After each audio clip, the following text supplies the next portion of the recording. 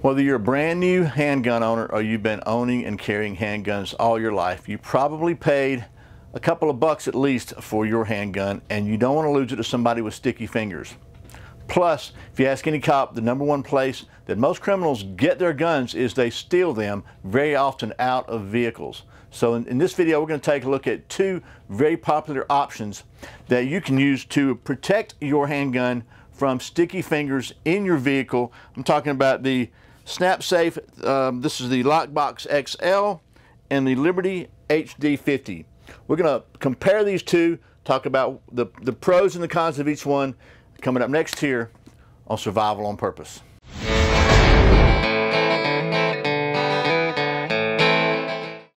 Welcome back to Survival on Purpose, your home for trustworthy information and gear reviews related to camping, survival, and general preparedness for regular folks. My name's Bryan. Thanks for joining me. So, as I said, there are a lot of new gun owners in America right now, and maybe you're one of them, or maybe you're somebody who's been owning and carrying a gun for a long time. But um, I think it's always good to be reminded of some things. And I, will tell you the reason I'm making this video, by the way, is because I um, there's a couple of reasons, and I'll tell you that in just a minute, but I have a good friend of mine that I was in the truck with him the other day, and I noticed he's got this fancy little holder that he mounted in his truck that his gun locks into. So it's right there handy and accessible, right? Well, it doesn't even lock into it, it just mounts there, right? It's a magnet kind of thing. Um, but it's also completely visible from somebody peeking in the window or somebody with a hammer just break the window and reach in and grab it. And I mentioned that to him because you know, like I said, the number one way that, that criminals, or at least one of the top ways criminals get guns is they steal them very often out of vehicles. So um, I got a couple of quick stories to tell you, but before I do, just let me go ahead and say we're going to take a look at this Snap Safe. Um, what's this called? This is called the Lockbox XL. This, and then we're also going to take a look at this Liberty HD50. Uh, very similar. The XL is a little bigger than this one, but it's what I happen to have.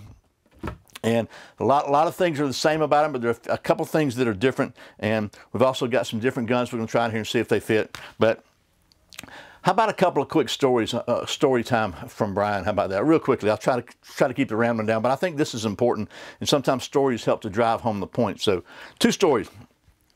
One of them not too bad, the other one pretty bad.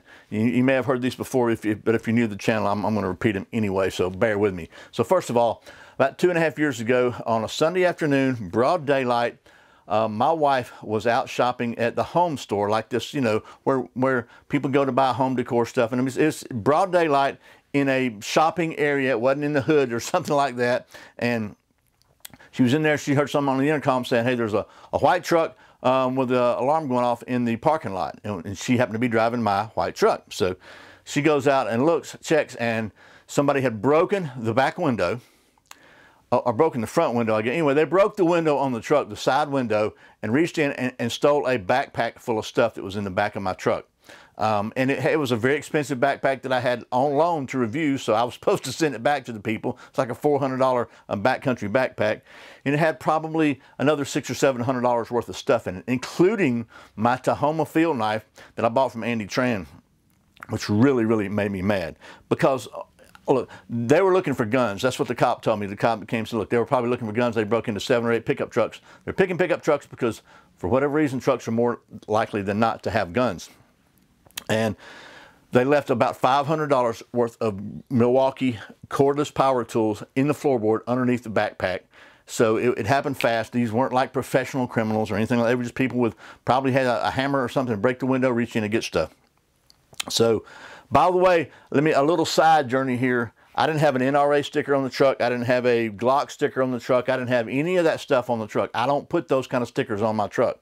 The only sticker I had on there, I think, was a Boy Scout sticker. So if that's you, you want to show, you know, show your alliances and show all that, you're asking for trouble. Thieves are looking for that stuff. I'm telling you, if they see an NRA, NRA sticker, they know there's a, there's a higher likelihood there's going to be a gun in that truck than if they see a coexist sticker. Just saying. So anyway, um, thankfully they didn't have, they didn't get my gun because my gun was right here. So anyway, um, but they could have. And if it had been my friend's truck, they would have. So that's story number one.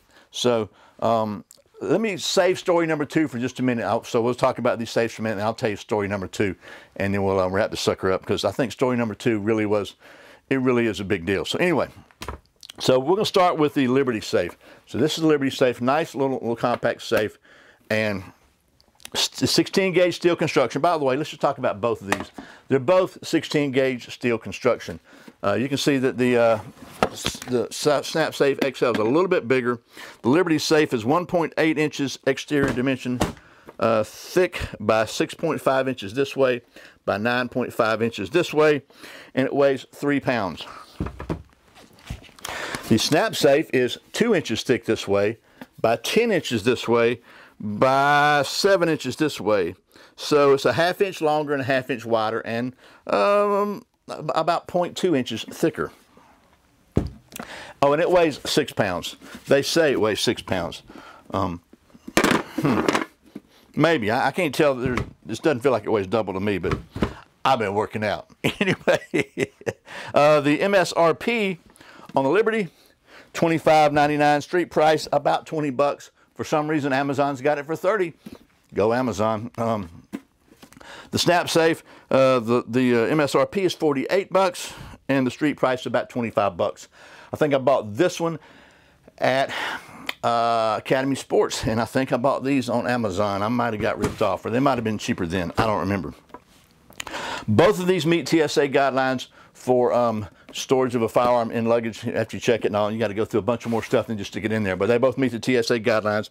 And they both also are, in case you're living in communist controlled territory, they are a California approved firearm safety device that meets the requirements of Penal Code Section 23655 and the regulations issued thereunder. So if you live in California, you probably know all about that.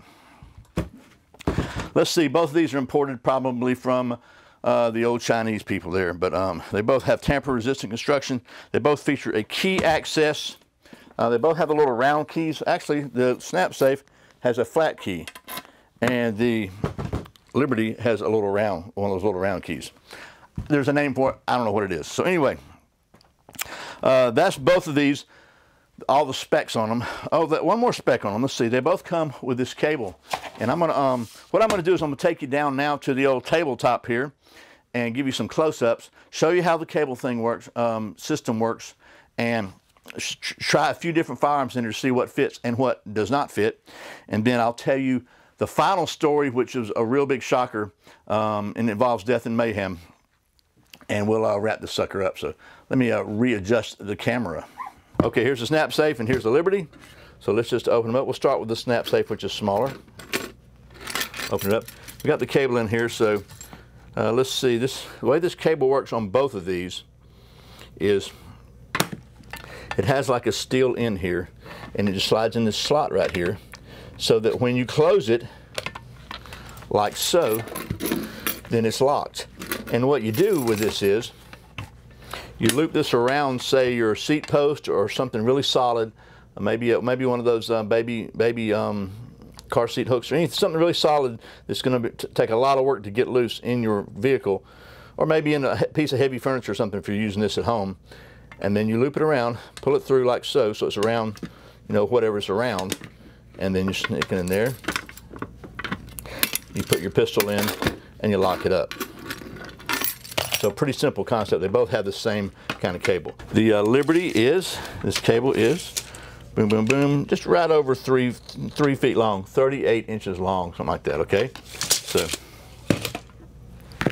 there's that one. The Snap Safe also has the same cable situation, the same cable um, kind of the same way it works and it looks it looks like really close to the same thing.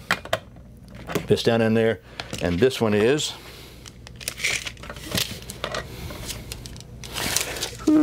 This one's a little bit longer. This one is about 40, 46 inches long, so um, almost 10 inches longer. I like that because it just gives you more flexibility on where you can where you can where you can put the thing. So uh, that's a, a, a plus to me.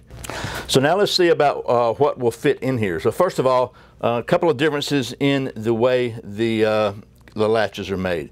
So you can see the, the snap safe, the latch itself, it's just a little, a little turning thing here, right? There's a slot right there. And then this, when you turn it, it just it engages in that slot. So pretty simple. Uh, this, so this piece of metal that engages in that slot is about thicker than the, a little thicker than actually the, the, the box itself. When the Liberty engages, it's got this little hook here. So it also hooks through also hooks through the side, so it's, it's, protecting from this way and from a little bit of prime from getting crooked. So that could be a, a benefit for security. But all in all, they both have open corners here, so they're, they're pry resistant, which means along the sides they've got this extra little bar here that sticks up like like like so, so you wouldn't be able to get a, anything in between there to prime. But suppose you could get something in. If you can wedge something in the corners, you, you, you can drive something in there and prime. But but like, and, and I know that people are going to say, well, you know, you could cut these cables with this or that or whatever. Look, nothing is impregnable, okay? Especially nothing you can put in your car. But what this is designed to do is, is to prevent the majority and, and the most common ways that people steal things out of your car, which is breaking your window and grabbing them. So if they grab this and snatch it and it's connected to the cable, um, chances are they're going to leave it alone. Um, at least it's definitely going to, to be a way, way, way, way, way, way, way, way, way, way more secure than just sticking it in the glove box, okay? Way, way, way. Did I, did I make that, stress that enough? So, so anyway, let's talk about what kind of guns might fit in here. So first of all, if you got like a Glock 48, a small gun, it's going to fit in both of them, you can see very easily. And this padding in here means you're to have to push it down. Let me uh, get my, my key back on here. So you, there's a little tension, you have to push it down, but that's, that's with any of these I've ever seen and with any pistol. But the Glock 48 certainly fits in there just fine. How about a Glock 19? A Glock 19 works too because that's my carry pistol and it's completely full. And you see you have to press it down and close it, but when you do, it's closed. And it works just fine. And it works in either one. A little more room, obviously, in the Snap Safe XL, but it works. What about some other pistols that you might carry? So, what about the venerable, yep, this is it. This is the uh, Hi-Point. So Hi-Point's a pretty thick, pretty thick pistol. Uh, but can, it goes right in and, and the, the foam compresses enough to hold it. So And we're trying everything in the small one first because if it'll fit in the small one, it'll certainly fit in the big one.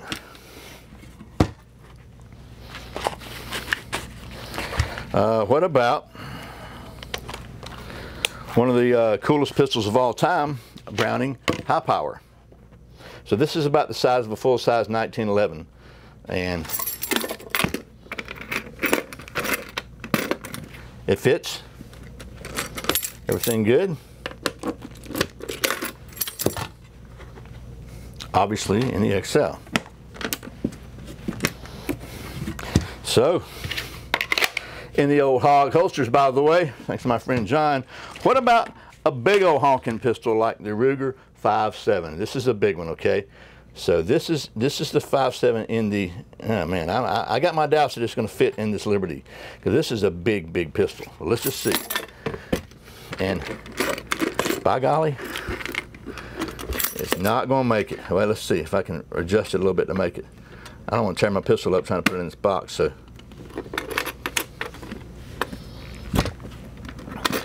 Okay, it made it. Barely, but you can see a nice gap there that, that uh, is, is asking for a screwdriver. So we'll take it out of there, make sure I'm not scratching it up too badly. What about in the, uh, it looks like it's going to fit a little better in the snap safe. Yes, it does. So there you go. Well, that's the uh, Snap Safe Lockbox XL and the Liberty HD 50. Let me uh, kind of tell you a quick story and give you my final thoughts and we'll wrap this up. Okay, well, that was a quick look at both the Snap Safe Lockbox XL and the Liberty MD50 and I gotta say they both are oh, pretty, pretty comparable. One thing I did notice is that the Liberty on the corner where the cable goes it's got a little bit of a gap there you can see and that might be inviting for somebody to try to put a screwdriver in there and mess with it but you know by the time they got it open you would probably hopefully somebody would have come if they busted your window and you got a car alarm like most most newer cars do. Uh, the the uh, snap safe does not have that visible gap there but it's still I mean you could jam something in there something small so Kuma's outside barking. So anyway, I do think that either one of these would be a great option to uh, keep in your vehicle, keep your, just in case. Look, I don't believe in leaving a, a firearm in a vehicle very often anyway, but sometimes you have to go in a courthouse, you have to go somewhere where you cannot carry your firearm, then don't just stick it in the dash, don't just stick it under the seat. Um, get something like this, 25 bucks, right? This is 20, 25 bucks not, not, a, not a tremendous investment to uh, potentially protect not only a firearm which costs a lot more than 25 bucks, but also to, to help to help keep uh, your gun out of the hands of criminals. And, and, I promise you one more story about this. This is a story that why it's so so important to do that. So, one of my relatives um, uh, several years back was working for a private security firm in Birmingham, and he was an armed security guard, and he was on some kind of some kind of privatized uh, fugitive task force. I'm not sure wh what it was, but anyway, he had to go in the office, so he left his Glock 19 in in his vehicle when he went in. Um, I don't know why. I don't know the details behind that. All I know is when he came back out, it was a covered parking with cameras and security, somebody had broken his window and stole his pistol. And all they got on the video was some dude in a hoodie, right? Um, 24 hours later, that gun had been confiscated and as a the weapon that was used in a murder. So somebody stole that gun, and within 24 hours, that gun was used to kill another person. Um, so not only will he never get that gun back, it's in somebody, it's in police evidence locker forever, but um, somebody's dead who potentially might not have been if, if that gun had not been available. Now, you know, they certainly could have got a gun somewhere else, but, but man, that's, that's a pretty, pretty heavy duty, duty deal. So, um, it's just, man, it's, it's not something you want to take for granted. And it happens all the time. One more quick, quick story. When I was like 20 years old, my wife and I went to see the Allman Brothers at the Fox Theater in Atlanta. And we parked at this covered parking, la la la, the whole thing. Um, we came back out somebody had broken into her car and she, she had a, oh, like a 72 Monte Carlo, really cool car, but not really secure. So they probably could have got in it with a coat hanger. But she left her pocketbook under the back seat and had her entire paycheck in it, which at the time was a couple hundred bucks. We just got married, or maybe we were about to get married. But anyway, point being, people do break into cars. They have always broken into cars. And one of the number one things they look for is guns. So say it with me. My vehicle is not a gun safe. So anyway, whether you choose this one, or you choose this one, or you choose a different one, don't leave your firearm unlocked, unsecured in a vehicle or anywhere else that, that, that somebody who doesn't need access to it can get access to it. So anyway, I hope this has been helpful. Sorry for all the rambling. Hopefully the stories might have driven the point home to you that you absolutely need to protect your, your, your firearm. So as always, thanks for watching Survival on Purpose. Uh, if you want to help support the channel financially, you can go to patreon.com slash survival on purpose. And if you support the channel at $5 a month, then every month we do a giveaway. So you might, you might win something cool. And if you want to make sure you, we can stay connected in case uh, we get canceled because we're talking about guns, you can go to survivalonpurpose.com slash subscribe, get signed up for my weekly email newsletter. Every single week I'll send you an email with links to some videos, links to old videos, any news, offers, or deals I think you might be interested in. And it will allow us to stay in touch in case I have to move my content somewhere else. So really appreciate your support once again. My name is Bryan. You are watching Survival on Purpose. Remember, survival is not an accident, so be prepared. I'll see you next time.